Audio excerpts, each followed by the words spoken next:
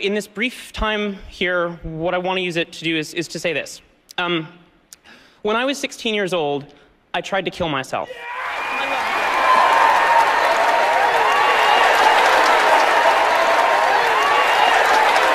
Hell no. To the no, no, no. Hell to the Hey yo, what's up guys? Today I'm going to show you how to make this in Cinema 4D.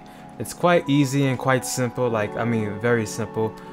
Uh, yeah, so before I start this, make sure you guys check out the description. If you want to support me on Patreon, go ahead and do that. Also, if the scene file is, is also in the description. And make sure you join my Discord, so let's jump right into it. Alright, so open up Cinema 4D, and the first thing you want to do is go ahead and make a plane. And then we have these options down here, and let's make our width and height to 2100 by 2100. If I'm going too fast for you, you should uh, watch my last tutorials like number 1, 2, 3, all those because I go over all the basics and all the other good stuff. So yeah, that will jump you right up to date with how I'm going to do this. Alright, so when that, once that is done, let's go ahead and add some segments to our uh, plane. The reason why we're doing this and not making a, uh, a landscape is because we're going to make our own hills and we're going to just do all that stuff, okay? So as you can see, hold on. If I go into my display and go to Gouraud shading with lines, we have these polygons right here and it's not a lot. So if I was, it would be a bad idea or a bad thing to do or it'll be bad to try to make this into a hilly landscape because there's barely anything to work with.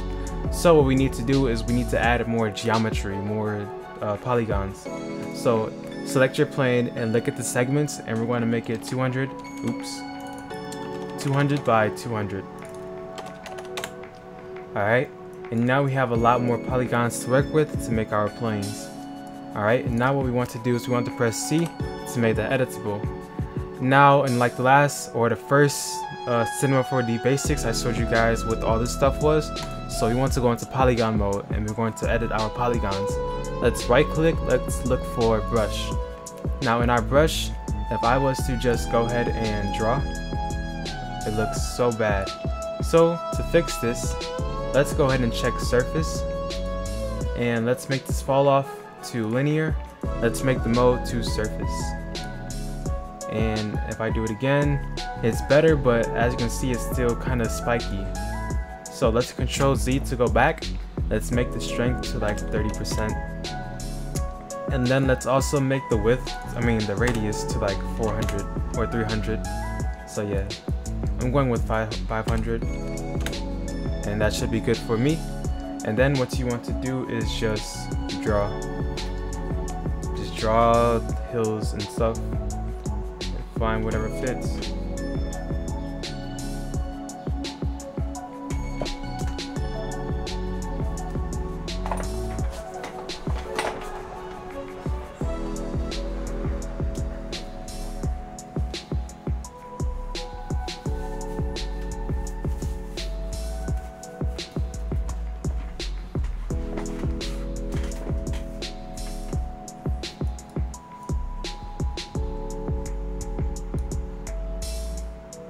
Also, you don't want your hills to be that large because it will kind of ruin the grass and the linear of it, the linearity. That's not even a word, but you know what I mean. Just make sure everything is kind of leveled. That's too much right there. If you want to like go down some, just make sure your strength has a negative value. So 30%, negative 30.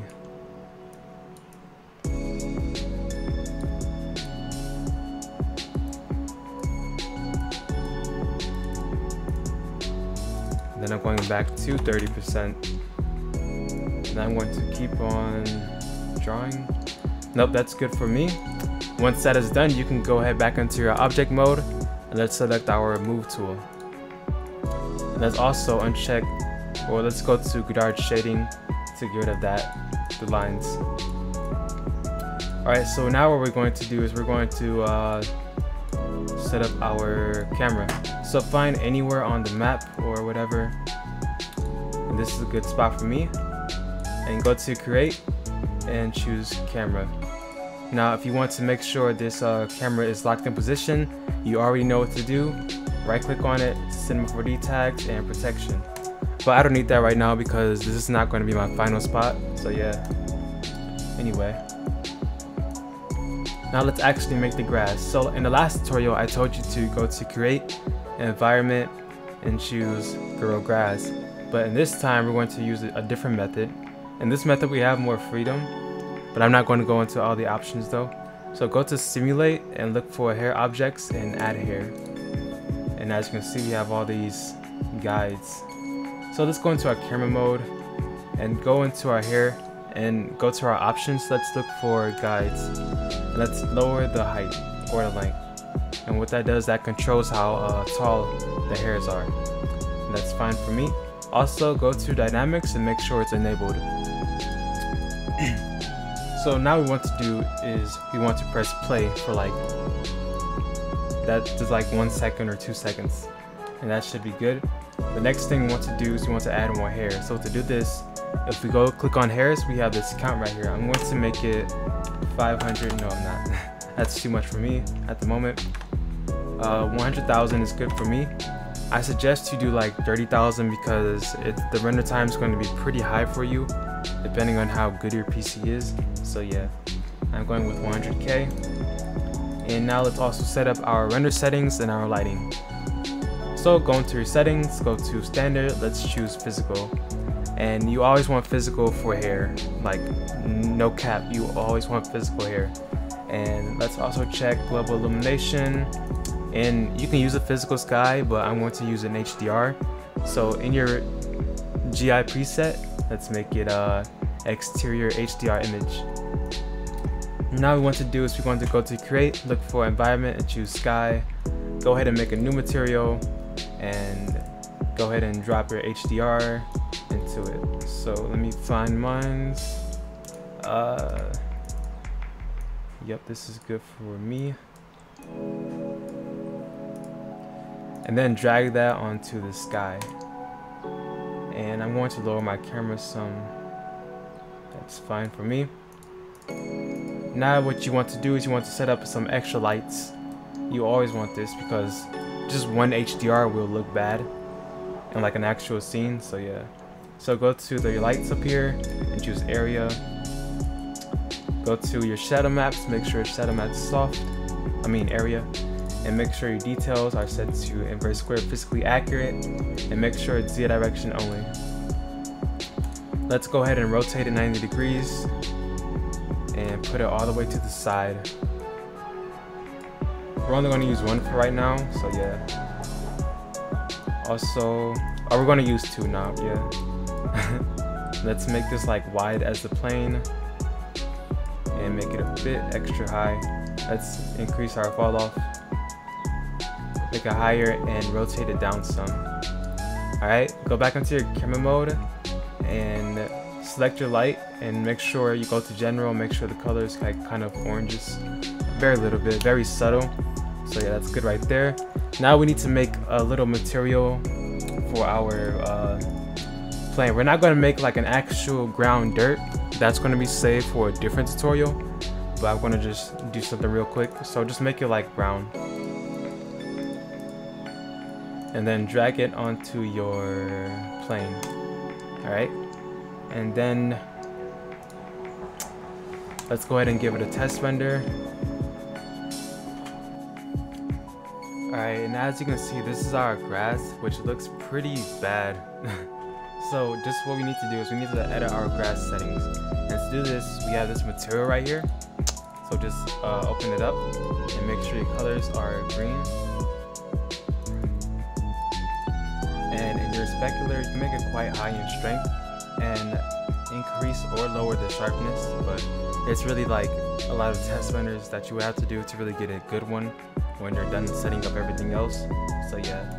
Also let's check uh let's check scale no let's check frizz and kink i want to open up this and show you what it does so kink i mean frizz is just this without frizz with frizz huge difference. Grass is never like, it's never like that. so you always want frizz. and make sure your kink is on and make sure it's like kind of low. Put about 10%. Alright. You want density? Nope. You want uh you want that too. And last thing you want is wave. And that should be fine right there. I don't think I'm missing anything else. Curl, I mean you can play around with all these settings and get different types of results. So if you want to experiment with them, go ahead and do you. But yeah. You can check on bend, but I think we're all good really. So yep, that's good for me. And last but not least, I'm going to go ahead and go back to my hairs and go to the, uh, what? Go to the, oh yeah, the hairs. and I'm going to make my count to 500,000 because as you can see in the last test render that was way too little grass grass is like really compact together it's never that much spread out but yeah so I'm gonna just give it a test render and see what it's going on also never do this much grass.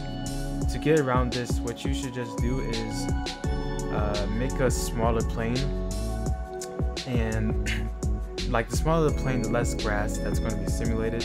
Because I'll tell you why every single I'll tell you why it's like very hard to calculate. So if I go into one little guide here, think of it as like as like one polygon. This is a polygon, this is a polygon, this, this, this. And uh, see over here we have these segments. That's how many polygons we have. So if we have no actually it's 12. So we have eight segments. Or you can say eight polygons. I think I'm wrong, but you get the point. So you have to multiply eight for all of these when it's finally time to render. That's why it takes so long to calculate. That's eight polygons times however much your grass is. So eight polygons times 500,000. That's how much it's going to render. That's how much geometry is in your scene. So yeah, you get my point. You get why it's like that and I'm just going to do this final render and that should really be it that's like I said quite simple but yeah alright so as you can see this is my result that I have also I bumped up my hairs to 700,000 and I also lowered the specularity so that's why it may look a little bit different and I changed my camera angle and that's pretty much how you make this type of grass now, I pretty much end this grass series. Uh, what's the next one I'm going to do? I don't know yet, but I'll probably release a video tomorrow and you will know then. But yeah, remember guys, thanks for watching the tutorial. Make sure you like and subscribe for more and join the Discord below and make sure you you donate to Patreon if you want to. yeah, I'm out of here. Yep. With Instagram hoes, got a boatload, got a K on the side of me, is what they don't know. Yo, boyfriend, a fucking lame, he a bozo. Like Santa Claus, swear to God, I got hella hoes.